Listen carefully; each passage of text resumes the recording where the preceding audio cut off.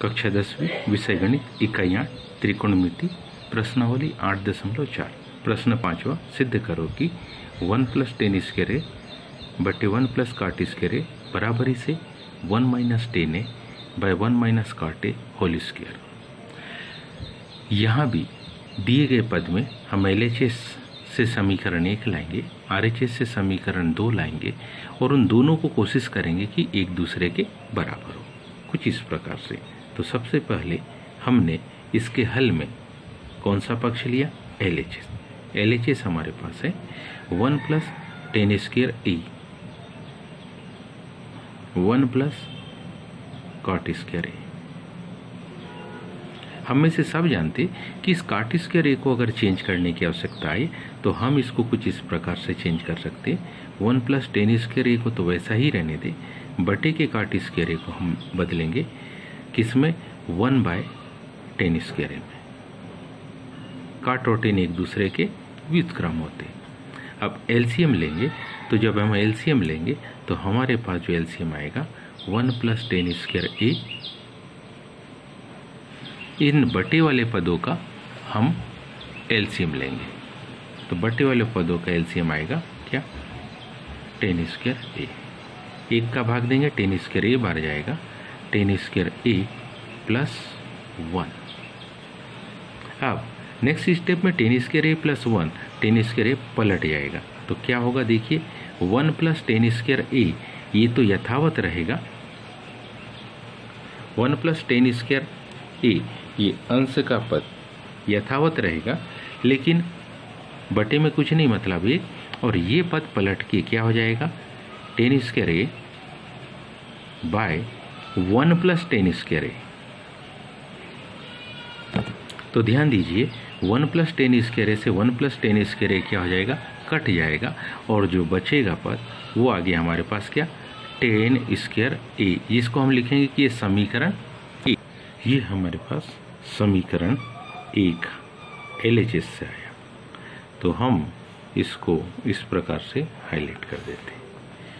अब हम कौन सा पक्ष लेंगे? R H S R H S हमारे पास है। आर एच एस हमने लिया। आर एच एस हमारे पास है। One minus tan A by one minus cot A. और इस पूरे की घात कितनी? दो। अब इसको जब लेंगे तो इसको भी हल करते समय कुछ इसी प्रकार से। कैसे? One minus one minus tan A बटे के पद को देखिए तो वन बाय वन काटे को फिर हम बदल सकते वन बाय टेन ए में। जैसा अंश में किया, पहले किया था, कौन से? एल एच एस वाले पद। इससे क्या होगा? ध्यान से देखिए। अब वन माइनस टेन ए अंश का पद तो यथावत रहेगा, लेकिन हर में इस एक और टेन ए का एलसीएम लेंगे। तो क्या आएगा? टेन ए आएगा। अब कंडीशन देखिए। कंडीशन क्या आएगी? एक का भाग टेने से देंगे तो टेने बार जाएगा और टेने का एक में गुणा हो जाएगा। माइनस साइन टेने का भाग जब टेने में देंगे तो एक बार जाएगा और एक का एक में गुणा करेंगे तो एक आएगा। पूरे की घात कितनी? दो। अब अगली स्थिति में ये अंश का पद तो वैसा ही रहेगा। यानी क्या रहेगा? वन माइनस टेन है। और इसके बटे में हम एक लिख सकते हैं, क्योंकि tan A minus one by tan A को अंश में लाएँगे तो ये संख्या पलट जाती है और पलटने के बाद कुछ इस प्रकार से परिवर्तित दिखाई देगी। टेन ए बटे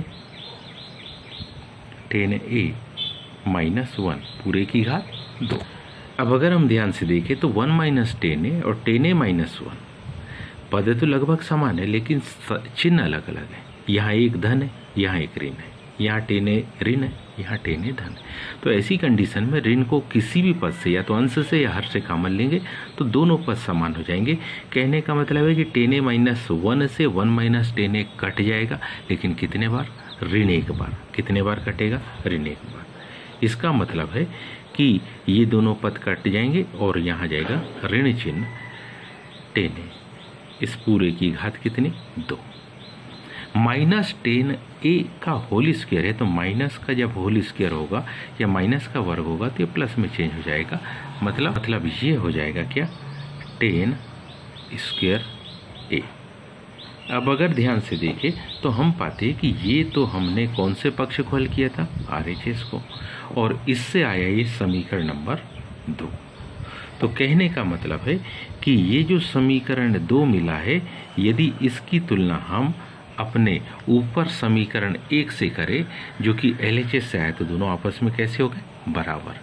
इसका सीधा सा मतलब है कि हम इसको क्या लिख सकते हैं? हम इसको लिख सकते समीकरण